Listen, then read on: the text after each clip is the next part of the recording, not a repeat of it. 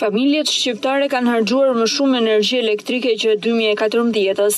Raporti i INSTAT konstaton se gjatë vitit që lamë pas, konsumi i energjisë elektrike nga familjarët u rrit me dhjetë pikë dy për qind, por rritje të konsumit të energjisë ka pasur edhe nga subjektet jofamiljare me nëntë pikë nëntë për qind. Sipas INSTAT, gjatë dy mijë e katërmbëdhjetës ka pësuar ulje dhe prodhimi i energjisë elektrike, një fakt që nënkupton direkt rritje të sasisë së energjisë që blihet. Kështu, importi i energjisë që u ble rezultoi me një rritje prej dyzet e katër pikë pesë për qind në krahasim me vlerën e energjisë së blerë në dy mijë e trembëdhjetën, ndërkohë që ka rënë ndjeshëm eksporti duke sjellë kështu më pak para në buxhet. Energjia elektrike në dispozicion e përfituar nga të gjitha burimet në vitin dy mijë e katërmbëdhjetë u ul me zero pikë tetë për qind krahasuar me një vit më parë. Sasia gjithsej e prodhuar në vend gjatë dy mijë e katërmbëdhjetës është katër mijë e shtatëqind e njëzet e gjashtë gigavatë nga gjashtë mijë e nëntëqind e pesëdhjetë e nëntë gigavatë e prodhuar gjatë dy mijë e trembëdhjetës, e cila rezultoi me rënie prej tridhjetë e dy pikë një për qind.